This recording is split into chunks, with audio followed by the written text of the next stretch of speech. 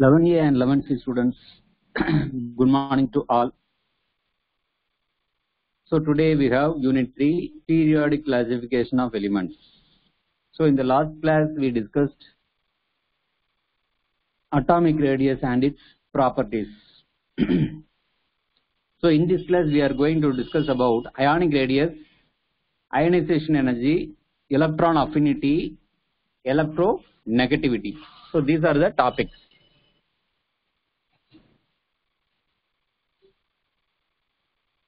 So first of all, what is ionic radius? So what is the difference between atom and ion? Atom is neutral, but ion is charged particle. It may be positive charge or negative charge.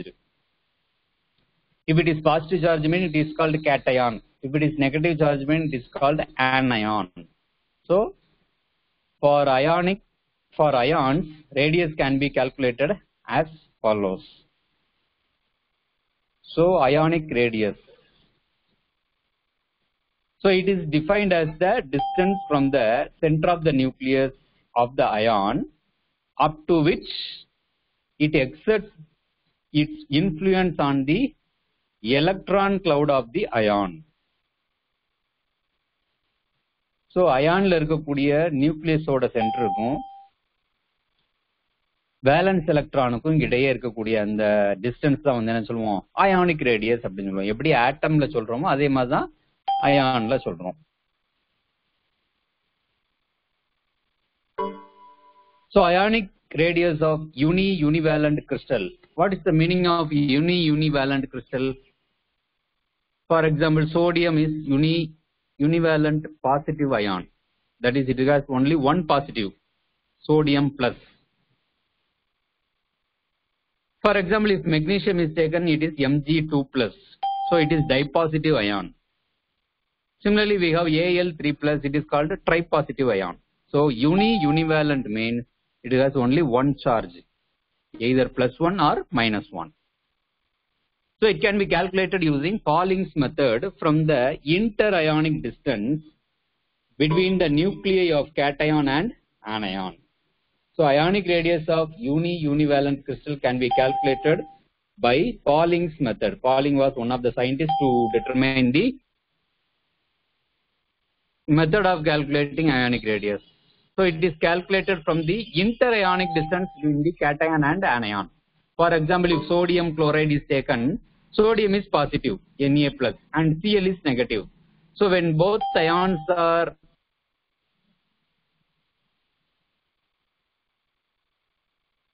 closely packed, the interionic distance between the cation and the anion can be used for the determination of ionic radius. So Pauling assumed that ions present in the crystal lattice, what is meant by lattice? Three-dimensional array of ions which are closely packed. So they are called crystal lattice. So they are perfect spheres and they are in contact with each other. So Pauling assumed that ions present in crystal lattice are perfect spheres. So all the ions are considered as a spherical particles and they are in contact with each other. So positive ion is contact with negative ion, negative ion is contact with positive ion. So likewise there is an array of three dimensional structure. So therefore distance is calculated from the radius of cation and radius of anion. So distance d is equal to radius of C plus means cation plus R of A minus radius of anion. So this is the equation 1. Here d is the distance between the center of the nucleus of cation and the anion and R of C plus and R of A minus are the radius of cation and anion respectively. Pauling also assumed that radius of the ion having noble gas configuration. What is meant by noble gas configuration? In noble gases, for example, helium, neon, argon, krypton, xenon, all of them are completely filled orbitals. So all these gases have completely filled orbitals. So they are more stable. They are more stable.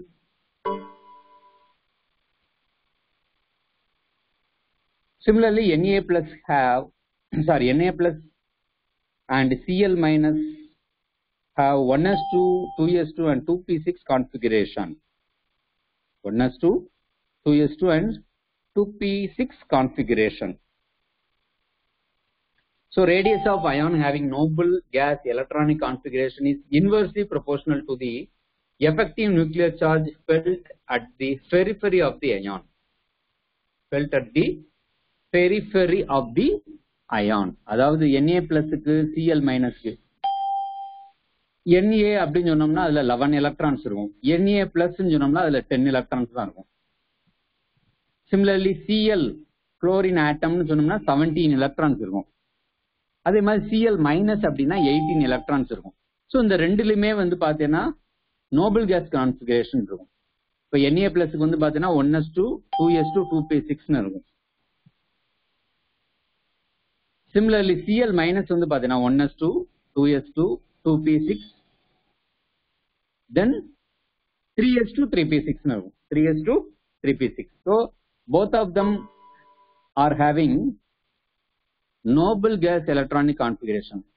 So the radius of such ions na plus and cl minus is inversely proportional to the effective nuclear charge. What is the effective nuclear charge? So the attraction of the nucleus with the outermost cell So the outermost electron. That is called the effective nuclear charge. So it is felt at the periphery of the ion. Peripheryனா அந்த அயானோட ஆரம்பத்துல அல்லது பக்கத்துல மேல் பகுதியில அப்படின்னு சொல்லுவோம். So this can be written as R of C plus is inversely proportional to Z effective C plus. Z effective C plus. Similarly, R of A minus, radius of anion is inversely proportional to 1 by Z effective A minus. So these are equations 2 and 3 why we have write this formula because as per Pauling Pauling statement படி என்ன சொல்றாரு Nobel case configuration இருக்கக்கூடிய எல்லா அயான்ஸுமே வந்து they are inversely proportional to their effective nuclear charge அதனால இந்த ரெண்டு ஈக்குவேஷனையும் எழுதுவேன். ஃபர்ஸ்ட் ஈக்குவேஷன் வந்து பாசிட்டிவ் அயானுக்கு சோடியம் பிளஸ்னு வச்சுக்குவேன். செகண்ட் ஈக்குவேஷன் வந்து நெகட்டிவ் அயான் குளோரைடு அயானுக்கு எழுதிக்கலாம். இசட் எஃபெக்டிவ் அப்படின்னா effective nuclear charge so it is is calculated from the formula Z effective is equal to Z minus S which we discussed in the previous class, previous online class இப்போ previous online classல effective nuclear charge எப்படி calculate பண்ணணும் அப்படின்னு சொல்லி Slater rule அதை base பண்ணி என்ன செஞ்சோம்? படிச்சோம். ஸோ இதுல எஸ் அப்படிங்கிறது என்னது? ஸ்கிரீனிங் கான்ஸ்டன்ட் அப்படின்னு சொல்லுவோம். எஸ்ங்கிறது ஸ்கிரீனிங் கான்ஸ்டன்ட் இசட்ங்கிறது வந்து அட்டாமிக் நம்பர் இசட்ங்கிறது என்னது? Atomic number so screening constant எப்படி கால்குலேட் பண்ணுன்னு சொல்லி ஒரு டேபிளர் காலம்லாம் வந்து லாஸ்ட் ஆன்லைன் கிளாஸ்ல பார்த்தோம். ஸோ அதை பேஸ் பண்ணி நம்ம இங்க என்ன செய்யணும்? We have to calculate the value of Z effective that is effective nuclear charge then dividing the equation two by three R of C plus divided by R of A minus. அப்படி போட்டா என்ன ஆகும்?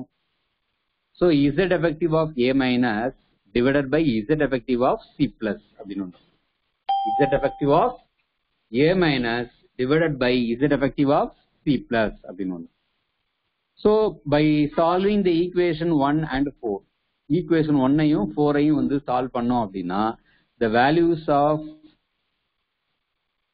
cation radius and anion radius can be obtained so equation ஒன்னையும் ஃபோரையும் வந்து solve பண்ணோம்னா நமக்கு வந்து radius of cation and radius of anion can be easily obtained so this is the method of determining ionic radius based on Pauling method based on Pauling method. So Pauling method படி நம்ம இத எழுதணும். First வந்து என்ன எழுதணும்? D is equal to r of c plus plus r of a minus எழுதணும்.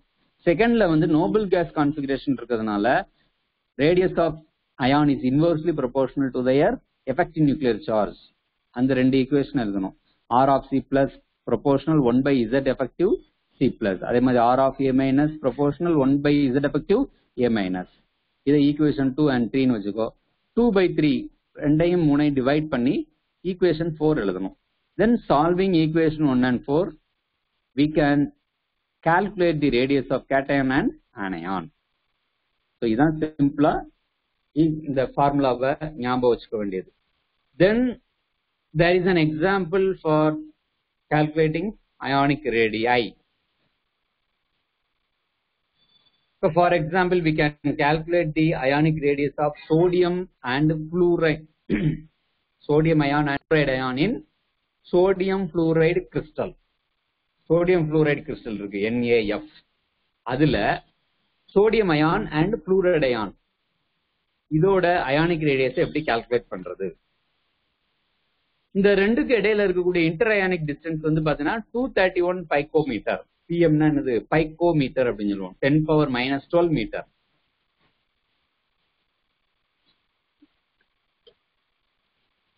ten power minus twelve metre தான் one பைக்கோமீட்டர்னு சொல்லுவோம். அந்த இன்டர் டிஸ்டன்ஸ் வந்து நமக்கு கொடுத்துட்டாங்க. ஸோ நம்ம செய்ய வேண்டியது என்னன்னா ionic radii of sodium ion and fluoride ion அப்போ ஃபர்ஸ்ட் ஃபார்முலா எழுதணும். First D is equal to R of NA plus plus R of F minus we know that r of na plus plus r of f minus is equal to 231 picometer it is given so இத வந்து equation 6 னு வச்சுக்கோ 5 and 6 then நமக்கு ஏற்கனவே படிச்ச மாதிரி r of na plus divided by r of f minus is equal to z effective f minus divided by z effective na plus இப்ப first வந்து effective nuclear charge of fluoride ion Calculate பண்ணணும் z effective f minus is equal to z minus s z னா atomic number s னா screening constant so fluorine atomic number 9 அது நம்ம table அந்த periodic டேபிள்லயே வந்து we can easily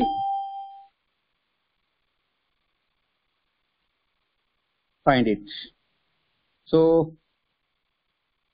z effective f minus is equal to 9 minus 4.15 screening constant of fluoride ion is arbitrarily assumed as 4.15 அப்ப ரெண்டே minus பண்ணோம் அப்படின்னா four point eight ஃபைவ்னு வரும். ஃப்ளூரடையானோட எஃபெக்டிவ் நியூக்ளியஸ் சார்ஜ் எவ்வளவு? ஃபோர் பாயிண்ட் எயிட் ஃபைவ் இப்ப நம்ம ஃப்ளூரடையான் கண்டுபிடிச்சிட்டோம். இப்போ வந்து சோடியம் அயானுக்கு ஃபைண்ட் அவுட் பண்ணணும். Z effective NA plus is equal to Z minus S சோடியத்தோட atomic number eleven so eleven minus four point one five eleven minus four point one அப்போ என்ன வரும்? சிக்ஸ் பாயிண்ட் எயிட் ஃபைவ்னு வந்துடும் screening constant வந்து already determine பண்ணி வச்சிருக்காங்க. அதனால அந்த வேல்யூவை நம்ம ஞாபகம் வச்சுக்க வேண்டியதான் ஃபோர் பாயிண்ட் ஒன் ஃபைவ் அப்படிங்கிறது. நமக்கு எது தெரியணும்? அட்டாமிக் நம்பர் மட்டும் தெரிஞ்சதா ஈஸியா கால்குலேட் பண்ணிடலாம். அப்ப சிக்ஸ் பாயிண்ட் எயிட் ஃபைவ்னு வரும். ரெண்டை டிவைட் பண்ணா R of NA plus divided by R of F minus is equal to four point eight five divided by six point eight five ரெண்டை டிவைட் பண்ணோம்னா பாயிண்ட் செவன் ஒன் வரும். Point seven one இதுல இருந்து R of NA plus sodium அயானோட radius மட்டும் பார்க்கணும் அப்படின்னா point seven one into R of F minus point seven one into R of F minus cross multiply பண்றோம் அவ்வளவுதான். So நமக்கு already we determine radius of sodium ion அதை வந்து equation ஃபைவ்ல வந்து சப்ஸ்டியூட் பண்ணோம் அப்படின்னா point seven one R F minus plus R of F minus is equal to two thirty one picometre two thirty one picometre so equation ஃபைவ்ல நம்ம already என்ன செஞ்சுக்கலாம்? சோடியம் அயானோட இந்த வேல்யூ இருக்குல்ல பாயிண்ட் செவன் ஒன் ஆர்எஃப் அந்த வேல்யூவை அதுல substitute பண்ணிடணும் பாயிண்ட் செவன் ஒன் ஆர்எஃப்ங்கிறத ஈக்குவேஷன் ஃபைவ்ல சப்ஸ்டியூட் பண்ணி ஸோ நம்ம ஒரு ஈக்குவேஷன் எழுதணும். Point seven one R F minus plus R F minus is equal to two point three one இதுல ஆர் எஃப் மைனஸை காமனாக எடுத்துக்கோ. பாயிண்ட் செவன் ஒன் பிளஸ் ஒன்னு வரும். Point seven one plus one இப்போ ரெண்டே ஆட் பண்ண என்ன வரும்? ஒன் பாயிண்ட் செவன் ஒன் ரெண்டே ஆட் பண்ண வரும் one point seven one into radius of fluoride ion is equal two thirty one picometre இதுல இருந்து radius of fluoride ion is equal two thirty one divided by one point seven one அப்போ one thirty five point one பைக்கோமீட்டர்னு வரும். One thirty five point one picometre இப்ப திரும்ப அதே ஈக்குவேஷனுக்கு போ. R of N plus plus R of F minus is equal to two thirty one இப்போ R of F minus கண்டுபிடிச்சாச்சு. One thirty five point ஒன்னு அதை அப்படி சப்ஸ்டியூட் பண்ணிக்கோ. அப்போ R of NA plus is equal to two thirty one minus one thirty five point one ரெண்டையும் minus பண்ணேன்னா radius of sodium ion is equal to ninety five point nine picometre radius of sodium ion five point to 95.9 picometer. So இப்படிதான் வந்து calculate பண்ணணும் இந்த மாதிரி உனக்கு ஒரு evaluative result இருப்பாரு student reported the ionic radii of isoelectronic species அப்படின்னா என்ன நம்பர் ஆஃப் எலக்ட்ரான்ஸ் வந்து சேமா இருக்கும் இந்த மூணுலையும் X three plus Y two plus Z minus மூணுலையும் வந்து number of electrons remains the same these species are called isoelectronic species isoelectronic species இதோட ionic radii கொடுத்துருக்காங்க. இந்த ஆர்டர் கரெக்டா இல்லையா? அப்படின்னு சொல்லி நம்ம கமெண்ட் பண்ணணும். Okay the next topic is ionisation energy ionisation energy இப்ப அயானிக் ரேடியஸ் என்னன்னு பார்த்துட்டோம். சென்டர் ஆஃப் த நியூக்ளியஸுக்கும் எலக்ட்ரான் கிளவுட் இருக்கக்கூடிய பகுதிக்கும் இடையே இருக்கக்கூடிய அந்த டிஸ்டன்ஸ் தான் அயனிக் ரேடியஸ் பேசணும் இப்போ அயனைசேஷன் எனர்ஜி இது வந்து தேர்ட் பீரியாடிக் ப்ராப்பர்ட்டி ஒரு ஆட்டம் அயானா மாத்துறதுக்கு எவ்வளவு எனர்ஜி தேவைப்படுதோ அந்த எனர்ஜி தான் வந்து அயனைசேஷன் எனர்ஜி அப்ப ஆட்டம் அயானா மாத்தணும் அப்படின்னா பேலன்ஸ்ட் எலக்ட்ரானை ரிமூவ் பண்ணாதான் அது என்ன ஆகும் அயானா மாறும். அதனால லூஸ்லி பவுண்ட் எலக்ட்ரான் சொல்லியிருப்பாங்க. ஸோ வேலன்ஸ் எலக்ட்ரானை ரிமூவ் பண்ணிட்டோம் அப்படின்னா அண்ட் ஆட்டம் பிகம்ஸ் அயான் அதுக்கு நம்ம எனர்ஜி கொடுக்கணும். That energy is called ionisation energy அப்ப இதோட டெபினேஷன் எப்படி வருது so it is defined as the minimum energy required to remove the most loosely bound electron from the valence of atom atom. valence கடைசி. நியூக்ளியஸ்ல இருந்து கொஞ்சம் தள்ளி இருக்கும். ரொம்ப தூரமாக so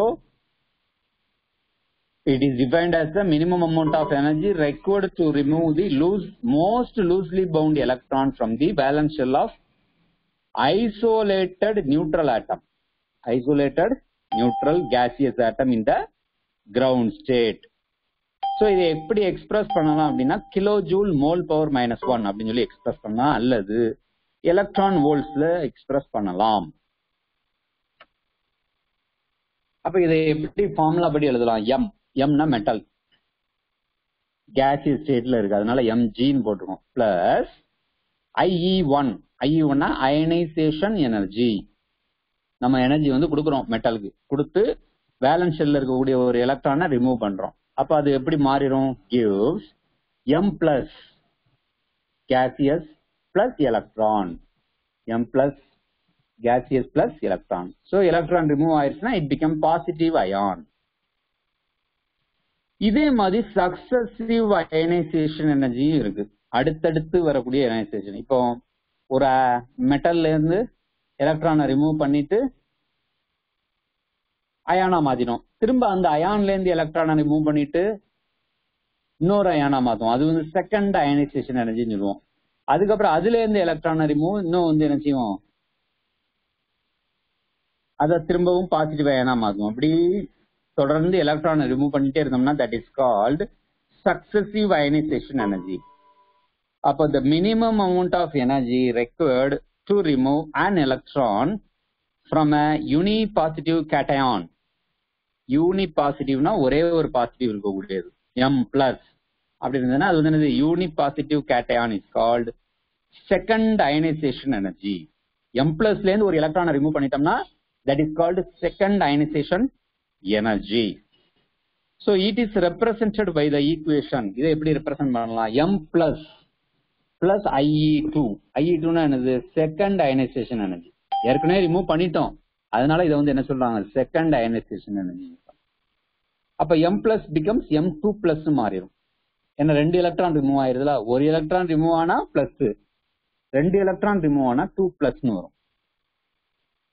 In this way, we can define the successive ionization energy, such as third, fourth, etc. இது மாதிரி நம்ம தொடர்ந்து என்ன செய்யலாம் எலக்ட்ரானை ரிமூவ் பண்ணிட்டே போனோம்னா தேர்ட் ஃபோர்த்னு வந்துகிட்டே இருக்கும் The total number of electrons are less in cation than the neutral atom. So it is true. அது உண்மைதான் இப்போ ஃபார் எக்ஸாம்பிள் சோடியம்னு எடுத்துட்டோம்னா எலக்ட்ரான்ஸ் எத்தனை இருக்கும் லெவன் எலக்ட்ரான்ஸ் இருக்கும் இதே சோடியம் பிளஸ்ன்னு எடுத்துட்டோம்னா டென் எலக்ட்ரான்ஸ் தான் இருக்கும் அப்ப கேட்டயான்ல எலக்ட்ரான் எண்ணிக்கை குறைவா தான் இருக்கு ஆனா நியூக்ளியர் சார்ஜ் ஒரே மாதிரி தான் இருக்கு there is no change in the nuclear charge therefore effective nuclear charge of cation is higher than the corresponding neutral atom since there is no change in the nuclear nuclear charge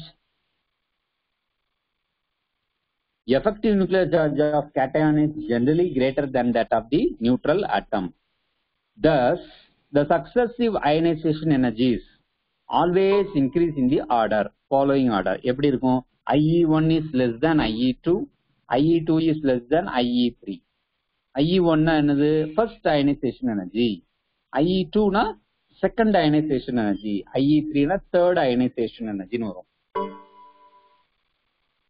அப்புறம் periodic trend. இது வந்து எப்படி பீரியட்ல குரூப்ல மாறுது பீரியட்னா left to right ரோஸ்ன்னு சொல்லுவோம் செவன் பீரியட்ஸ் இருக்கு பீரியாடிக் டேபிள்ல so generally ionisation energy increases along a period with few exception சில விதிவிலக்கு மட்டும் இருக்கு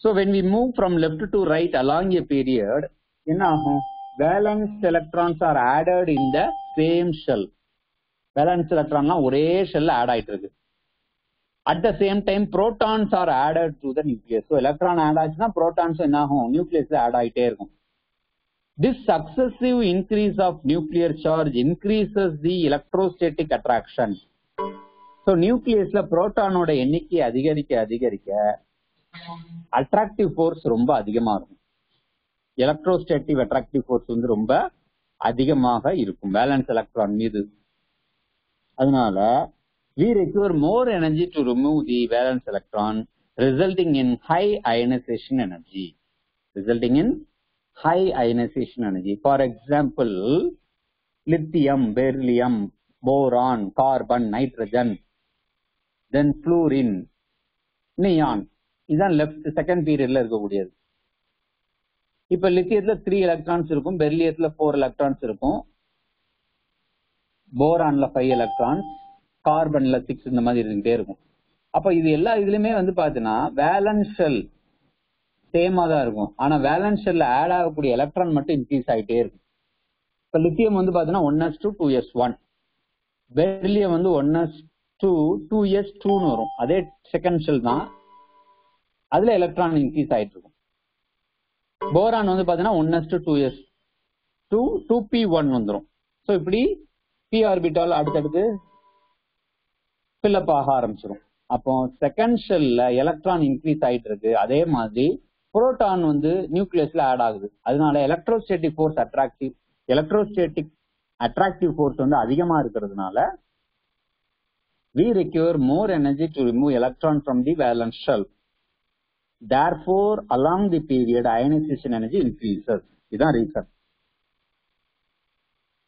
இப்ப நம்ம செகண்ட் பீரியட்ல இருக்கக்கூடிய எலிமெண்ட்ஸை நம்ம எக்ஸாம்பிளா எடுத்துக்குவோம் இந்த plot of atomic number versus ionisation energy ஒரு கிராஃப் வந்து போட்டோம் அப்படின்னா அதுல வந்து ரெண்டு டிவியேஷன் இருக்கு so boron has higher ionisation energy than beryllium since boron has high nuclear charge however இருந்தாலும் actual ionisation energy of beryllium and boron are eight ninety nine and eight hundred இப்ப நம்ம செகண்ட் பீரியட்ல வந்து left to right போனா என்ன ஆகணும்? Increase ஆகணும் ionisation energy ஆனா அப்படி இல்ல. போரான் வந்து பாத்தீங்கன்னா குறைவா இருக்கு. பெர்லியத்து கொஞ்சம் அதிகமா இருக்கு. இது கொஞ்சம்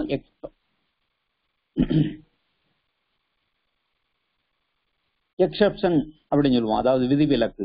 ஏன் இந்த மாதிரி இருக்கு அப்படின்னா பெர்லியத்துல வந்து பார்த்தோம் அப்படின்னா அதுல four electrons one S two two S two completely filled orbitals இருக்கு. ஆனா போரான்ல வந்து பாத்தீங்கன்னா one S two two S two two P one அதுல வந்து பாத்தீங்கன்னா போரான்ல பார்ஷியலி ஃபில்டு ஆர்பிட்டால்ஸ் இருக்கு. நம்ம செகண்ட் யூனிட்லயே படிச்சிருக்கோம். ஒன்னு கம்ப்ளீட்லி ஃபில்டு ஆர்பிட்டால்ஸா இருக்கணும் அல்லது ஹாஃப் ஃபில்டு ஆர்பிட்டால்ஸா இருக்கணும். அப்படி இருந்தா more stable than the partially filled orbitals அதனாலதான் பெர்லியத்தோட அயனைசேஷன் எனர்ஜி போரானை விட அதிகமாக இருக்கு. பெர்லியத்தோட அயனைசேஷன் எனர்ஜி போரானை விட அதிகமாக இருக்கிறது காரணம் என்னன்னா because of the stable electronic configuration of beryllium one s two two s two ஆனா போரானுக்கு two s two two p ஒன்னு வருது. பார்ஷியலி ஃபில்ட் ஆயிருது அன்ஸ்டேபிள் ஸோ இதுதான் வந்து அந்த கிராஃப் அட்டாமிக் நம்பர் எக்ஸ் ஆக்சிஸ்லயும் அயனைசேஷன் எனர்ஜியை ஒய் ஆக்சிஸ்லயும் வச்சுட்டோம் அப்படின்னா லித்தியத்துல uh, இருந்து பெர்லியம் போகும்போது தர் இஸ் அன் இன்க்ரீஸ் பெர்லியத்துல இருந்து போரான் வரும்போது என்ன ஆகுதுன்னா குறைஞ்சிட்டு அதுக்கு எக்ஸம்ஷன் கேஸ் வந்து ரீசன் வந்து என்ன சொல்றோம்? Completely filled orbitals of beryllium அப்புறம் போரான்ல இருந்து கார்பன் இன்க்ரீஸ் ஆகுது. கார்பன்ல இருந்து நைட்ரஜன் இன்க்ரீஸ் ஆனா நைட்ரஜன்ல இருந்து ஆக்சிஜன் கம்மி ஆகுது ஆக்சிஜனுக்கு இதே பிரச்சனை தான். நைட்ரஜன்ல ஹாஃப் ஃபில்ட் ஆர்பிட்டால்ஸ் இருக்கும். மோர் ஸ்டேபிள் ஆனா ஆக்சிஜன்ல பார்ஷியலி ஃபில்ட் ஆர்பிட்டால்ஸ் இருக்கும். லெஸ் ஸ்டேபிள் அதுக்கப்புறம் வரக்கூடியதுதான் வந்து இன்க்ரீஸ் ஆகிட்டு தான் இருக்கும். So this is the variation of ionisation energy along the second period with few exemptions அதுதான் கொடுத்துருக்காங்க. எலக்ட்ரானிக் கான்பிகரேஷன் ஆஃப் பெர்லியம் பெர்லியத்தோட அட்டாமிக் நம்பர் ஃபோர் அதனால one s two two s two ஆனா போரானுக்கு வந்து atomic number ஃபைவ்னால one s two two s two two p one similarly நைட்ரஜனுக்கு வந்து atomic number seven அதனால one s two two s two two p த்ரீன்னு வரும். அதுக்கு ionisation energy அதிகம். நைட்ரஜனுக்கு எவ்வளவு? Thousand four hundred and two kilo joule mole power minus one ஆனா ஆக்சிஜனுக்கு கொஞ்சம் கம்மியாகுது. Thousand three hundred and fourteen எதனால? நைட்ரஜன்ல ஹாஃப் ஃபீல்டு ஆர்பிட்டால்ஸ் இருக்கு ஏன்னா half filled electronic configuration is more stable than the partially filled electronic configuration. So therefore, it requires higher energy to remove the electron from the 2p orbital, orbital of nitrogen. Whereas removal of one 2p electron from oxygen leads to a half-filled configuration. This makes comparatively easier to remove 2p electron from oxygen. So இங்க ரொம்ப explain பண்ணிருக்காங்க நீங்க அதெல்லாம் எழுத வேண்டாம் நைட்ரஜன்ல half field ஆர்பிட்டாலா இருக்கு மோர் stable ஆக்சிஜன்ல வந்து partially filled ஆர்பிட்டாலா இருக்கு less stable therefore nitrogen has more ionisation energy high ionisation energy than oxygen அப்படின்னு எழுதுனா போதும்.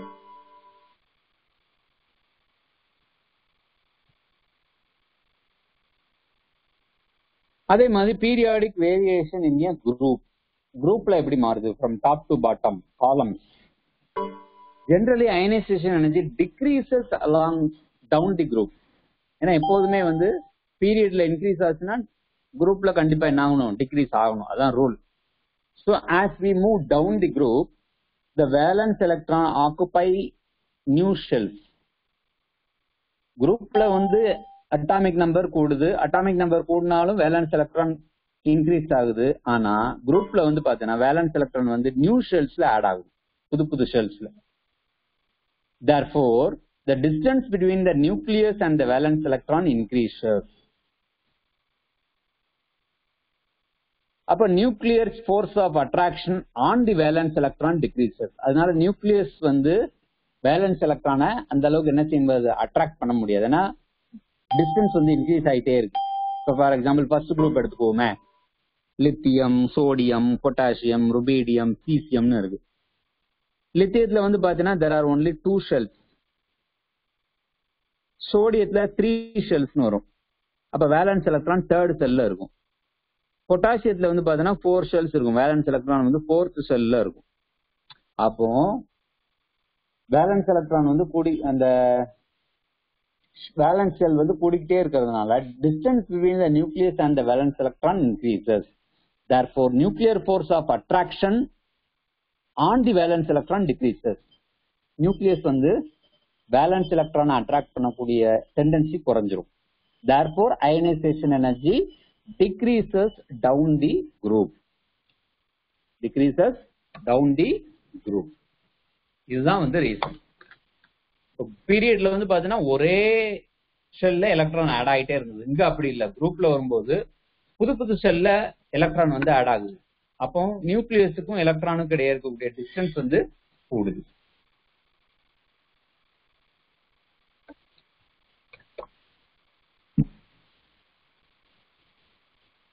Therefore, ionization energy decreases down the group. Ionisation எனர்ஜிக்கும் shielding எஃபெக்ட்டுக்கும் there is a correlation ரெண்டுக்கும் ஒரு தொடர்பு இருக்கு ஸோ குரூப்ல from top to bottom as we move down the group the number of inertial electrons increases which in turn increases the repulsive forces exerted by them on the valence electron இப்போ வந்து nucleus valence எலக்ட்ரானை attract பண்ணணும். ஆனா இந்த attractive force என்ன செய்யும் அப்படின்னா inner ஷெல்ஸ்ல இருக்கக்கூடிய எலக்ட்ரான்ஸ் வந்து என்ன செய்யும்? அதை தடுக்கும். இன்னர் செல்ஸ்ல இருக்கக்கூடிய எலக்ட்ரான்ஸ் வந்து ரிப்பல்சிவ் ஃபோர்ஸ் காரணமா பேலன்ஸ் ஷெல் எலக்ட்ரான் வந்து நியூக்ளியஸை அட்ராக்ட் பண்ணக்கூடிய அந்த வாய்ப்பை வந்து என்ன செஞ்சிருது ஷீல்டு பண்ணுது மறைக்குது so the increased shielding effect caused by the inner electrons caused by the inner electrons decreases the attractive force decreases the attractive force so increased shielding effect caused by the inertial electrons decreases the attractive force between the nucleus and the valence electron. Nucleus and the valence electron. Therefore ionization energy decreases. So group la ionization energy decreases because of the shielding effect caused by the inner electrons which decreases the attractive force acting on the valence electron by the nucleus. So nucleus வந்து valence எலக்ட்ரானை attract பண்ண முடியாதபடி உள்ள இருக்கக்கூடிய எலக்ட்ரான்ஸ்லாம் என்ன செய்யுது? அதை வந்து மறைக்குது. ஸோ அதனால தான் குரூப்ல இன்னிய குரூப் அல்லது டவுன் தி குரூப் மேலிருந்து கீழே வரும்போது அல்லது டாப் டு பாட்டம் வரும்போது அயனைசேஷன் எனர்ஜி என்ன ஆகுது குறையுது அப்படின்னு சொல்றாங்க. ஸோ அதை வந்து கிராஃப் மூலமா நம்ம அங்க ஆல்கலி மெட்டல்ஸுக்கு எக்ஸ்பிளைன் பண்ணியிருக்காங்க. Alkali மெட்டல்ஸ்னா first group metals lithium sodium potassium rubidium caesium இந்த அஞ்சுக்கும் வச்சு. ஸோ எக்ஸ் ஆக்சிஸ்ல அட்டாமிக் நம்பரும் ஒய் ஆக்சிஸ்ல அயனைசேஷன் எனர்ஜியும் எப்படி? ஃபர்ஸ்ட் லித்தியத்துக்கு வந்து பாத்தீங்கன்னா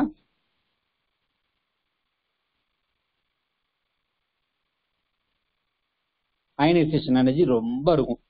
அடுத்து சோடியத்துக்கு கொஞ்சம் கம்மியா இருக்கும். பொட்டாசியத்துக்கு கொஞ்சம் குறையும். ருபீடியம் சீசியம் வரும்போது என்ன ஆகுது கொஞ்சம் கொஞ்சமா குறைஞ்சிக்கிட்டே வருது.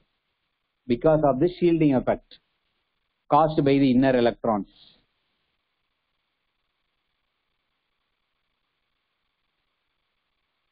ஒரு எவாலுவேட் யுவர் செல்ஃப் இருக்கு அதை ட்ரை பண்ணி பார்ப்போம் இல்லைன்னா நான் ஆன்சர் சொல்றேன் so the first ionisation energy IE one and second ionisation energy IE two of elements X Y Z are given below which one of the above elements is the most reactive metal and the least reactive metal and a noble gas ionisation எனர்ஜியை வச்சு சொல்ல சொல்லியிருக்காங்க. அடுத்தது third property fourth property வந்து பாத்தீங்கன்னா electron affinity அஃபினிட்டினாலே என்னது? Attraction அப்படின்னு. விருப்பம் அப்படின்னு அர்த்தம். எலக்ட்ரானை ஈஸியா என்ன செஞ்சிடும் கெயின் பண்ணிடும் அதுதான் எலக்ட்ரான் அஃபினிட்டி அப்படின்னு சொல்லுவாங்க. எலக்ட்ரான் அஃபினிட்டி அப்ப இதை வந்து எப்படி டிஃபைன் பண்ணலாம் it is defined as the amount of energy released when an electron is added to the valence shell of the isolated neutral gaseous atom in its ground state to form an anion வேற ஒண்ணும் இல்ல ஒரு ஆட்டம் இருக்கு அல்லது ஒரு element இருக்கு அந்த ஆட்டத்துல இருக்கக்கூடிய பேலன்ஸ் செல்ல ஒரு எலக்ட்ரானை ஆட் பண்றோம்னு வச்சுக்கோ. ஒரு எலக்ட்ரானை ஆட் பண்ணோம்னா அது வந்து கெயின் பண்ணிடும் அப்படி கெயின் பண்ணிட்டு எப்படி மாறிடும் அப்படின்னா ஆனையானா மாறிடும் ஆனையானா நெகட்டிவ்லி சார்ஜ் அயானா மாறிடும் அப்படி மாறும்போது it releases some energy it releases some amount of energy அதுக்கு பேர் தான் என்ன சொல்லுவாங்க அப்படின்னா எலக்ட்ரான் அஃபினிட்டி அப்படின்னு ஸோ எலக்ட்ரானை கெயின் பண்ணும்போது எனர்ஜியை ரிலீஸ் பண்ணும். ஸோ இதுதான் வந்து இதனுடைய டெஃபினேஷன் இதுவும் வந்து பார்த்தீங்கன்னா kilo joule mole power minus ஒன்ல தான் ரெப்ரசன்ட் பண்ணுவாங்க. So it is expressed as kilo joule mole power minus one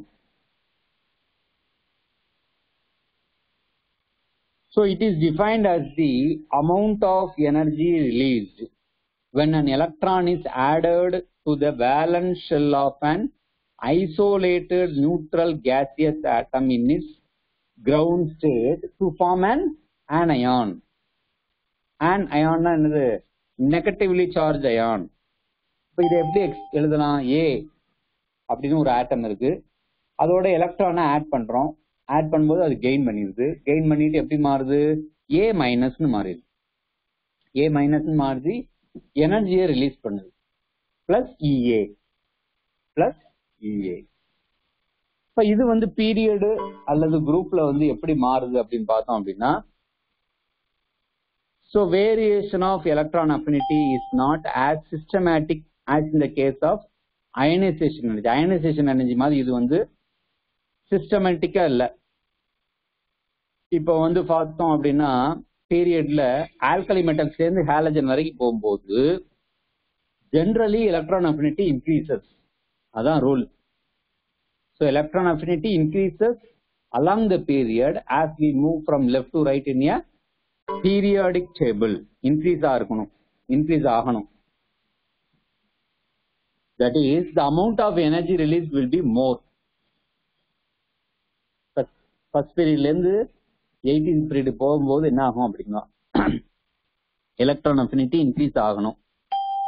ஏன் அப்படின்னா this is due to due to an increase in the nuclear charge and decrease in the size of atoms so nuclear charge அதிகமாகுது அதே மாதிரி ஆட்டம்ஸோட spice வந்து குறையுது However, in case of elements such as beryllium, nitrogen, the addition of extra electron will disturb their stable electronic configuration and they have almost zero electron affinity.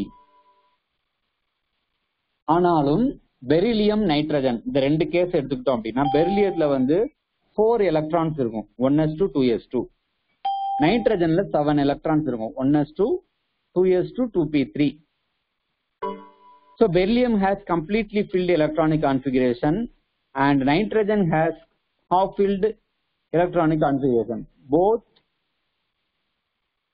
beryllium and nitrogen are in a stable state.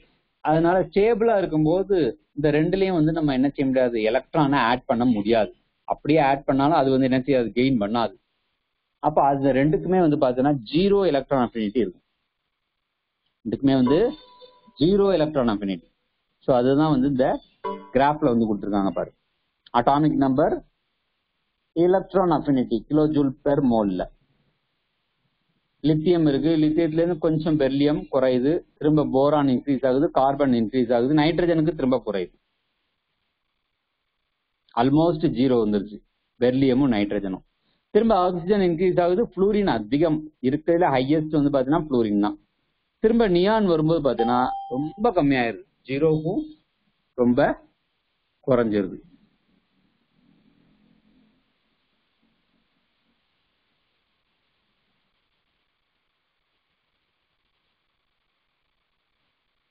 So பீரியட்ல ஜென்ரலா electron affinity increase ஆகும். காரணம் வந்து increase in nuclear charge and decrease in atomic size ஆனாலும் beryllium நைட்ரஜன்ல வந்து stable electronic configuration இருக்கிறதுனால அதுக்கு வந்து ஜீரோ எலக்ட்ரான் அஃபினிட்டி அதுதான் நம்ம இங்க தெரிஞ்சுக்க வேண்டியது. நோபல் கேசஸ்க்கும் வந்து பாத்தீங்கன்னா they have stable electronic configuration that is n s two n p six eight electrons இருந்தா ஆப்டட் கான்பிகரேஷன் அப்படின்னு சொல்லுவோம். O C T E T octet eight electrons இருக்கணும். So therefore the addition of further electrons is unfavourable முடியாது. திரும்ப electrons add பண்ண முடியாது. Therefore it requires more energy அதே மாதிரி halogens having general electronic configuration n s two n p five ஹாலஜன்ல வந்து பாத்தீங்கன்னா seven electrons இருக்கும். வேலன்ஸ் ஷெல்ல அப்ப இன்னும் ஒரே ஒரு எலக்ட்ரான் அதுக்கு ஆட் பண்ணிட்டோம் அப்படின்னா அது இட் பிகம் மோர் ஸ்டேபிள் அப்ப halogen have high electron affinity to attain the stable noble gas electronic configuration by gaining one electron very easily. அதனால ஹாலஜன்ஸ்ல எலக்ட்ரான் ஆட் பண்றது ரொம்ப ரொம்ப ஈஸி ஏன்னா அதுல ஏழு எலக்ட்ரான் இருக்கு. டக்குன்னு ஒரு எலக்ட்ரான் ஆட் பண்ணிட்டோம் அப்படின்னா எயிட்டா மாறிடும். அதனால they are having high electron affinity negative values ரொம்ப அதிகமான நெகட்டிவ் வேல்யூஸ் வந்து இருக்கும். அடுத்தது variation of electron affinity in group so பீரியட்ல இன்க்ரீஸ் ஆகுதுன்னா குரூப்ல வந்து டிக்ரீஸ் ஆகணும். எதனால? Increase in atomic size and shielding effect ஏற்கனவே படிச்சிட்டோம். அட்டாமிக் சைஸ் கூடிக்கிட்டே இருக்கும் குரூப்ல அது மாதிரி ஷீல்டிங் எஃபெக்டும் ஒன்று என்ன அதிகமாகிட்டே இருக்கும். இருந்தாலும் oxygen and fluorine have lower affinity than sulphur and chlorine இதுலயும் சில விதிவிலக்கு இருக்கு. ஆக்சிஜன் புளூரினுக்கு வந்து பாத்தீங்கன்னா very low electron affinity value than sulphur and chlorine இந்த இதுக்கு ரெண்டுக்கும் என்ன ரீசன் அப்படின்னா ஆக்சிஜன் புளூரின் ரெண்டு ஆட்டம்ஸும் வந்து பாத்தீங்கன்னா they are very small in size and they have high electron density size வந்து ரொம்ப ஸ்மாலா இருந்தாலே எலக்ட்ரான் டென்சிட்டி அதிகமா இருக்கும் அதனால extra electron added to oxygen and fluorine has to be accommodated in the 2p orbital 2p orbital which is relatively compact when compared to the 3p orbital of sulphur and fluorine. So oxygen fluorine ரெண்டுக்குமே வந்து smaller size இருக்கிறதுனால electron density அதிகமாக இருக்கும். அதனால extra electron add பண்ணும்போது அது வந்து என்ன செய்யும்? டூ பி ஆர்பிட்டால ஆக்குபை பண்ணிடும் அகாமடேட் பண்ணிடும் ஆனா சல்ஃபர் குளோரின்ல த்ரீ பி ஆர்பிட்டாலா இருக்கிறதுனால அது வந்து இந்த ரெண்டுக்குமே sulphur and chlorine have low electron affinity than their respective group elements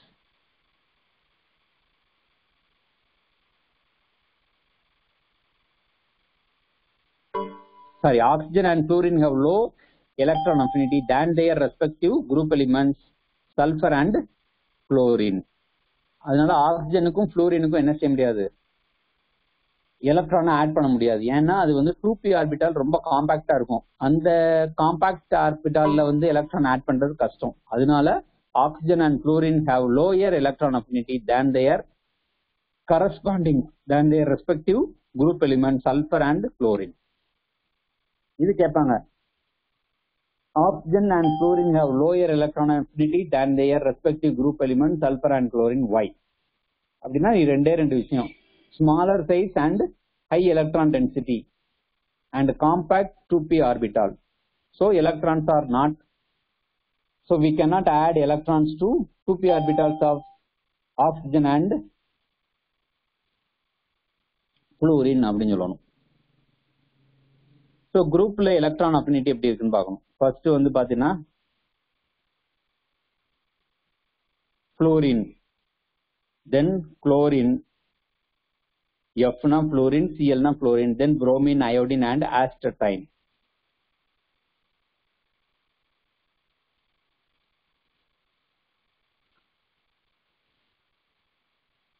Fluorineக்கு தான் இருக்கிறதே ரொம்ப ரொம்ப அதிகமா இருக்கும்.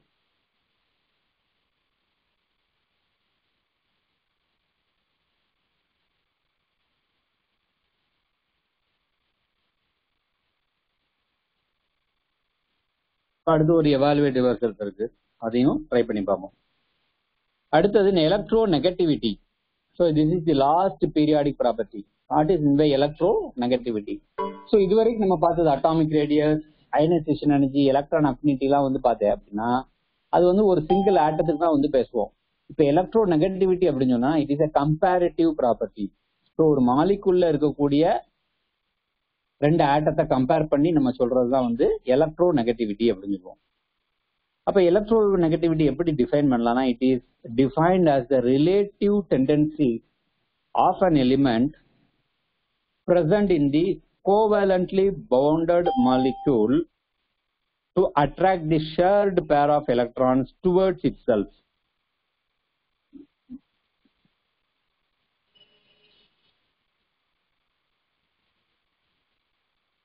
So இது எப்படி டிஃபைன் பண்ணலாம் அப்படின்னா ஒரு மாலிகுல்ல இருக்கக்கூடிய ரெண்டு ஆட்டத்துல எந்த ஆட்டத்துக்கு எலக்ட்ரானை அட்ராக்ட் பண்ணக்கூடிய டெண்டன்சி அதிகமா இருக்கோ அது வந்து மோர் எலக்ட்ரோ நெகட்டிவ் அப்படின்னு சொல்லுவோம்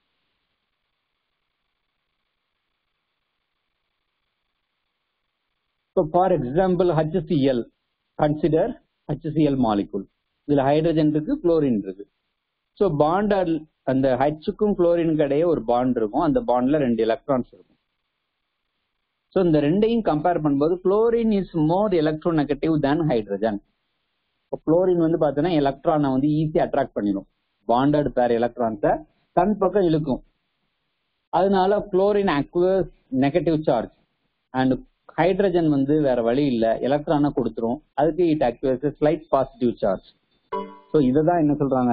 எலக்ட்ரோ நெகட்டிவிட்டி அப்படின்னு சொல்றோம். அதனாலதான் ரிலேட்டிவ் டெண்டன்சி ஆஃப் எலிமெண்ட் தனிப்பட்ட ஒரு ஆட்டத்துக்கு சொல்ல முடியாது. ஒரு மாலிக்குள்ள இருக்கக்கூடிய ஒரு ஆட்டம் மற்ற ஆட்டத்தை விட எப்படி இருக்கு? அப்படிதான் சொல்ல முடியுமே தவிர so it is a comparative property அப்படிம்பாங்க. So the tendency of atom in a molecule to attract the shared electrons towards itself is called electronegativity அப்படின்னு சொல்லலாம். ஸோ இது வந்து பார்த்தீங்கன்னா it is not a measurable quantity இது வந்து qua- நம்ம வந்து மெஷர் பண்ண முடியாது. அயனைசேஷன் எனர்ஜி மாதிரி எலக்ட்ரான் அஃபினிட்டி மாதிரி இதை வந்து மெஷர் பண்ண முடியாது. இதுக்கு வந்து ஸ்கேல்ஸ் நிறைய இருக்கு. எப்படி பிஹெச்க்கு வந்து ஸ்கேல் இருக்கிற மாதிரி இதுக்கு வந்து there are many scales are available to calculate electronegativity. One such scale, wa- one such method was developed by Pauling. Pauling வந்து சில மெத்தட சில ஃபார்முலாவை வந்து அசைன் பண்ணி எலக்ட்ரோநெகட்டிவிட்டி கால்குலேட் பண்றதுக்கு ஒரு மெத்தடு டிட்டர்மைன் பண்ணார் so he assigned arbitrary value of electronegativities for hydrogen and fluorine ஹைட்ரஜனுக்கும் ஃப்ளூரினுக்கும் ஆர்பிட்ரரி வேல்யூ வந்து ஃபிக்ஸ் பண்ணிட்டாரு. இதுதான் அப்படின்னு. ஹைட்ரஜனுக்கு வந்து பார்த்தீங்கன்னா டூ பாயிண்ட் ஒன் ஃப்ளூரினுக்கு ஃபோர் இதை பேஸ் பண்ணி மற்ற எல்லா எலிமெண்ட்ஸுக்கும் நம்ம கண்டுபிடிக்கலாம். அதுக்கு ஒரு ஃபார்முலா இருக்கு. என்ன ஃபார்முலா அப்படின்னா X A minus X B equal to point one eight two root of E of AB minus E of AA into E of BB பவர்ல one by two அப்படின்னு வரும். பவர்ல one by two X A எக்ஸ்பினா என்னது? எக்ஸ்ஏனா electronegativity of A atom A அதே மாதிரி எக்ஸ்பினா electronegativity of atom B point one eight டூங்கிறது ஒரு factor ஃபார்முலால உள்ளது. E, இஏபினா என்னது? இ of ஏபினா என்னது?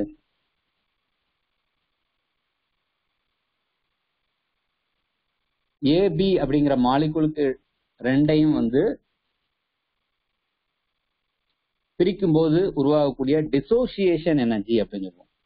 பாண்ட் டிசோசியேஷன் எனர்ஜி அதே மாதிரி E of ஏஏனா bond dissociation energy of molecule A அதே மாதிரி E of பிபினா bond dissociation energy of molecule B so ஏங்கிற மாலிகுல்லேருந்து ஒரு ஆட்டமும் பிங்கிற மாலிகுல்லேருந்து ஒரு ஆட்டமும் சேர்ந்து ஏபி அப்படின்னு ஒரு மாலிகுல் ஃபார்ம் ஆகும். அப்படி ஃபார்ம் ஆகும்போது நம்ம என்ன செய்யலாம்? எலக்ட்ரோ நெகட்டிவிட்டி கண்டுபிடிக்கலாம். அதுக்கு தான் இந்த formula so E AB E AA E BB are bond dissociation energies of AB A two and B two molecules respectively இது வந்து பார்த்தோன்னா ஒரு கான்ஸ்டன்ட் கிடையாது. எலக்ட்ரோ நெகட்டிவிட்டி வந்து its value depends upon the element to which it is covalently bound ஒரு atom வந்து இன்னொரு ஆட்டத்தோட கோவலண்டா find ஆகும்போது ஏற்படக்கூடிய மாற்றத்தினால இதோட வேல்யூ என்ன செஞ்சுட்டு இருக்கோம்? மாறிக்கிட்டே இருக்கும்.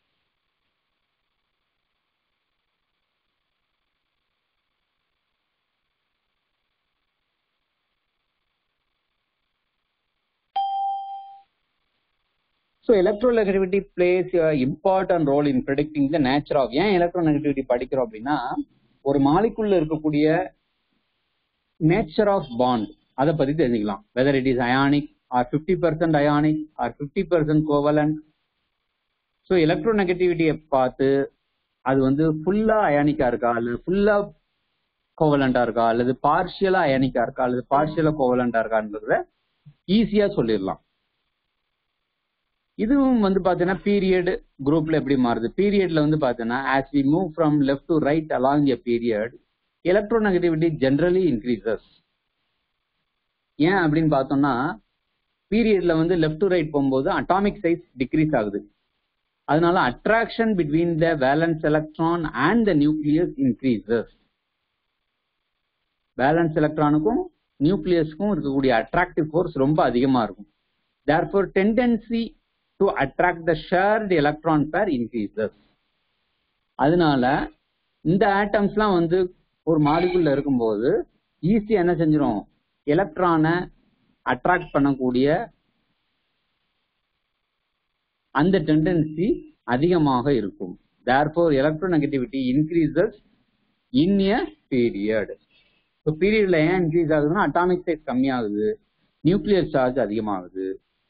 Therefore attraction between the nucleus and the valence electron increases. So this causes the tendency to attract the shared electron pair towards itself. Therefore, electronegativity increases. So இதுதான் வந்து அந்த கிராஃப் எக்ஸ் ஆக்சிஸ்ல atomic number Y ஆக்சிஸ்ல electronegativity scale தான் அது வந்து zero one two three ஃபோர்னு நம்ம அது வந்து ஒரு நம்பர் அதுவும் வந்து கான்ஸ்டன்ட் கிடையாது ஒரு ஆட்டம் வந்து இன்னொரு ஆட்டத்தோட எப்படி கோவலண்டா பைண்ட் ஆயிருக்கோ அதுக்கு தகுந்த மாதிரி என்ன ஆகும் மாறும்.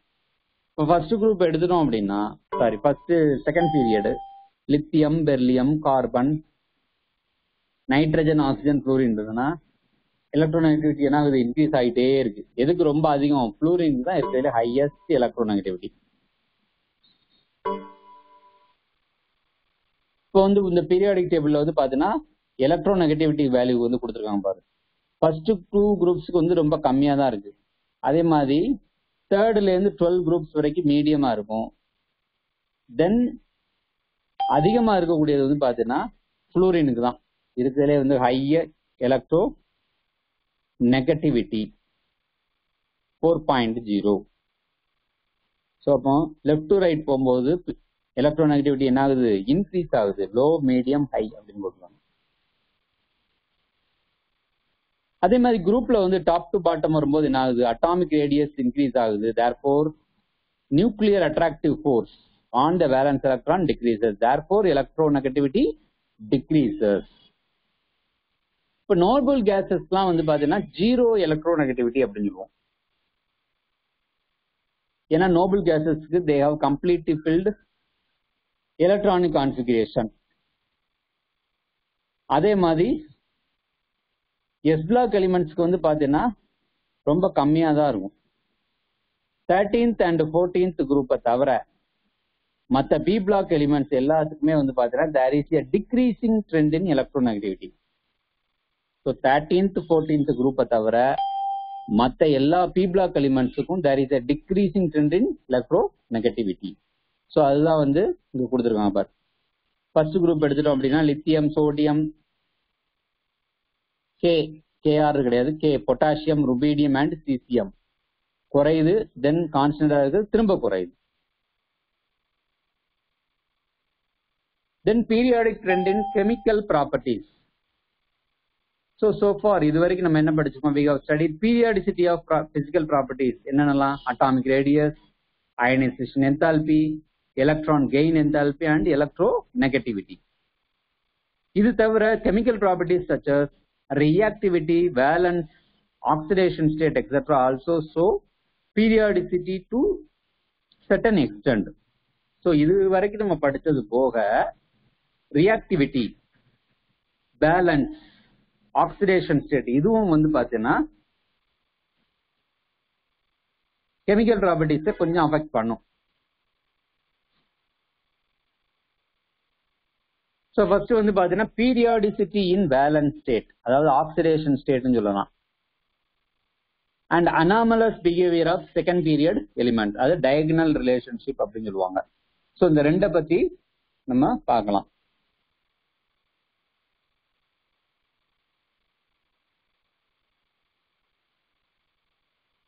இப்போ ஒரு ஆட்டத்தில் இருக்கக்கூடிய வேலன்ஸ் நான் என்ன சொல்றோம் அப்படின்னா combining capacity relative to hydrogen balance அப்படின்னா என்னதுன்னா கம்பைனிங் கெப்பாசிட்டி ஒரு ஆட்டம் வந்து இன்னொரு ஆட்டத்தோட கம்பைன் ஆகி மாலிகுல் ஃபார்ம் பண்ணக்கூடிய கெப்பாசிட்டி அதுதான் வந்து என்ன சொல்லுவாங்க? பேலன்ஸ் அப்படின்னு சொல்லுவாங்க. அது வந்து எப்படி இருக்கும் அப்படின்னா it is usually equal to the total number of electrons in the valence shell or equal to minus equal to eight minus the number of valence electron valence எலக்ட்ரான்ல இருக்கக்கூடிய டோட்டல் நம்பர் ஆஃப் எலக்ட்ரான்ஸை எடுத்துக்கலாம். இல்லை அப்படின்னா eight minus number of valence electron present in the outermost most ரெண்டுல எது வேணாலும் எடுத்துக்கலாம். So it is more convenient to use oxidation state in place of valence அதனால வேலன்ஸுக்கு பதிலாக ஜென்ரலா என்ன செய்யலாம்? ஆக்சிடேஷன் ஸ்டேட் அப்படின்னு சொல்லி நம்ம என்ன செய்யலாம்? அதை எடுத்துக்கலாம்.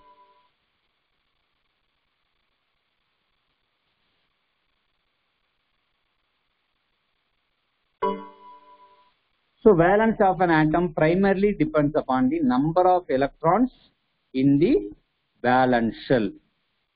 So as the number of valence shell remains same for elements in the same group, maximum valence remains the same. ஒரு குரூப்ல எல்லா எலிமெண்ட்ஸுக்குமே வந்து வேலன்ஸ் எலக்ட்ரான் சேமா தான் இருக்கும்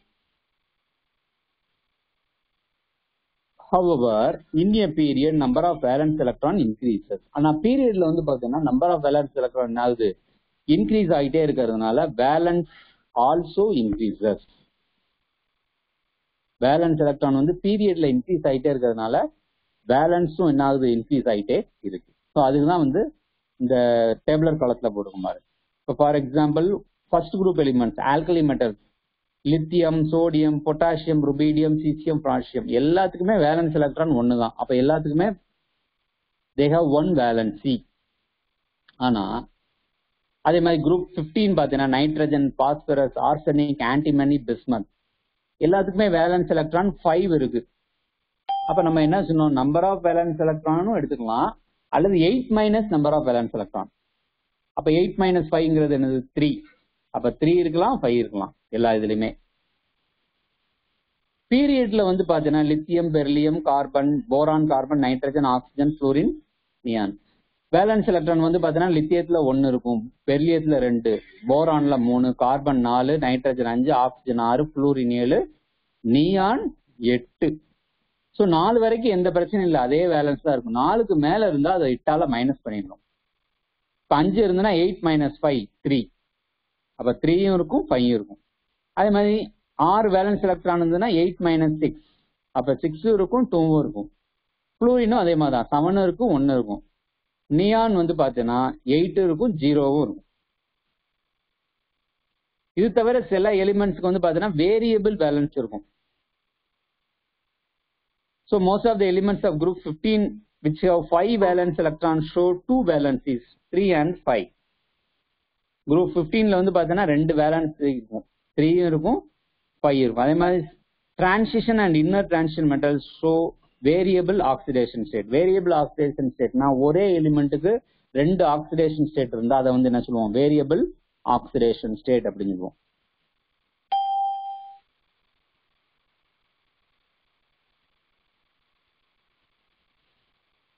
Okay let us stop at this point today. So I recall what we discussed today. So today we have discussed three properties, atomic radius, ionization energy, electron affinity and electronegativity.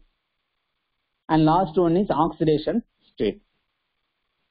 Atomic radius, sorry, ionic radius, distance between the center of the nucleus and the electron cloud in the outermost shell.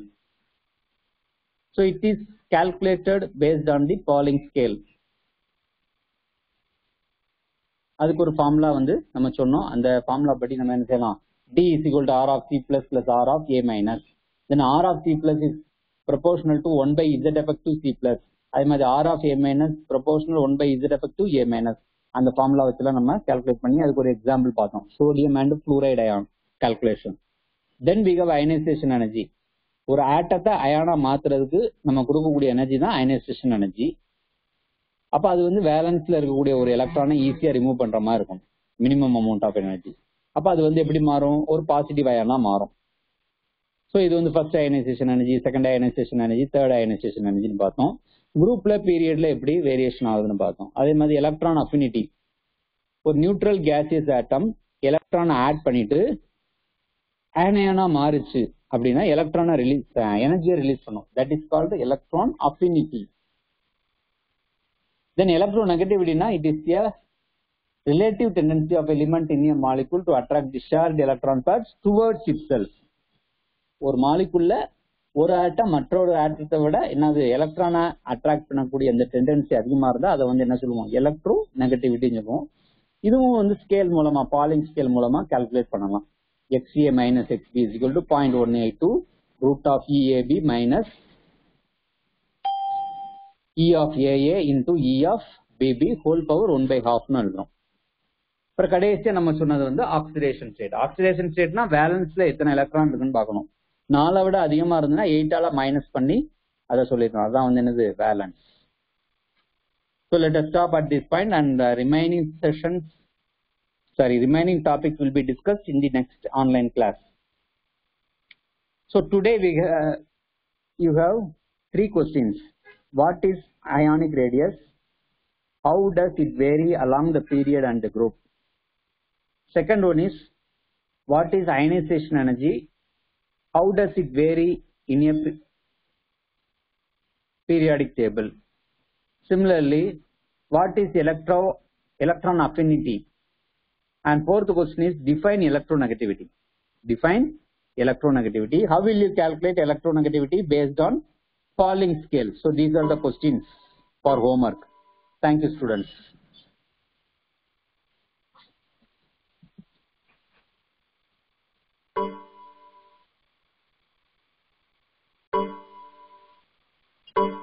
Okay, students. Thank you.